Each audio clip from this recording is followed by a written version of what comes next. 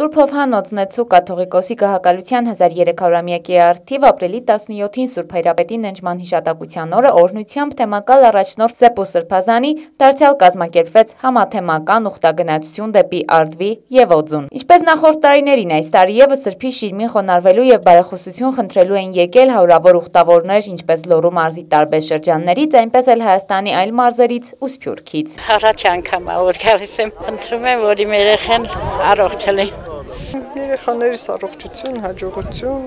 խաղաղություն մեր հայ զինվորներին առողջություն։ Ես մեծ հաճիկով եկել եմ ու ես հավատում եմ Աստծուն։ Աստծո զորությունը, Աստծո օրհնանքը, ես հավատում եմ Աստծուն ու ես միշտ կանչում եմ ամեն առավոտ Աստծուն, որ իմ ռեխանց գլխից անպակասելի, իմ ռեխեքը առողջ լինեն թորնիկներիս հետ միասին։ Ուխտագնացությանը մասնակցում էին Լոռու մասպետ Արթուր Նալբանդյանը, Լոռվածոր հայրենակցական միության նախագահ Սերգո Երիցյանը, Մայրաթորի ճարտարապետ Արա Վարդանյանը, համայնքապետեր եւ այլ պաշտոնատար անձիկ։ Երիտասարդ ուխտավորները թեմի հոգեվոր հովիվների հետ միասին շուրջ 800 եւ ավելի ուխտավոր հոգեվոր դասի առաջնորդությամբ խաչերով, խաչվառներով, գյուղամիջից խաչերթով շարժվեցին դեպի սրբավայր ողջևորվեցի հատկապես մեր երիտասարդների մասնակցության պատճառով, որովհետև սա խոսում է այն մասին, որ մեր երիտասարդները հետաքրքրված են հաջողորդի պատմությամբ, եկեղեցու պատմությամբ եւ իրենց հետաքրքրում է մեր կաթողիկոսներից մեկի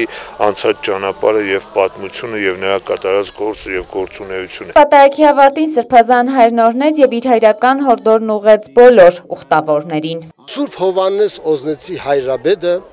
երբ նա ապրում էր 8-րդ տարում եւ 8-րդ տարում, երբ Հայաստանը արաբական եւ բյուզանդական գերիշխող տերությունների ներքո երկփեղկված էր, Օզնեցի հայրաբեդը պահեց ոչ միայն նրանց քաղաքական, նաև հոգևոր ամբողջականությունը։ Նա կարողացավ հայ եկեղեցու ազգային նկարագիրը ազգային նկարագրի եւ ինքնությունը ապահովել ոչ միայն իր կանոններով, ոչ միայն աստվածաբանական, վարդապետական հարցերի լուծմամբ, այլև այլև քաղաքական իմաստով։ Այդ օրերից առ այսօր իրար հաջորդող մեր հայրաբետները մշտապես նպաստել են այն սկզբնավորմանը, որ դրել էր Հովան Օզնեցի հայրաբետը, պահել հայ եկեղեցու ազգային նկարագիրը Չմոռանանք, որ Հայաստանի այս առաքելական եկեղեցին կոչվում է ազգային եկեղեցի։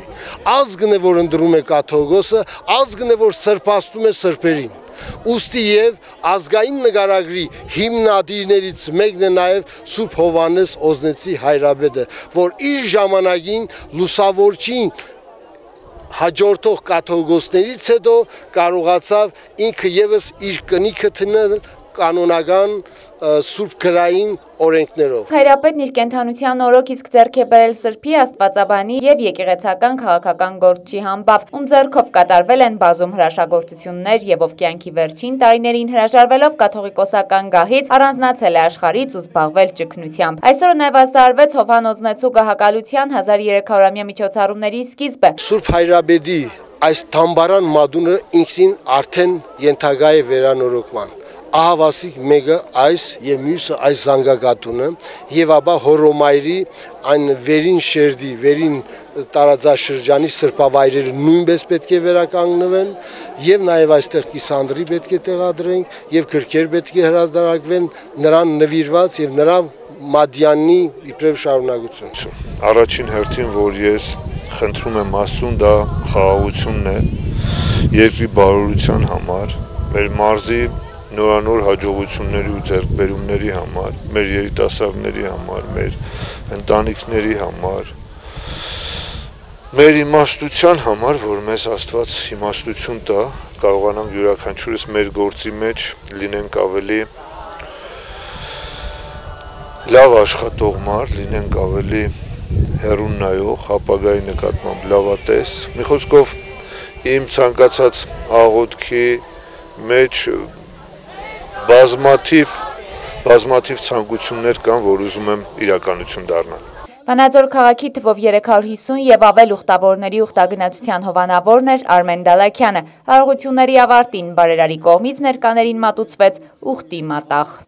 Անետ Կապետյան, Համլետ Պապանյան, Մոլորակ, Արդվի։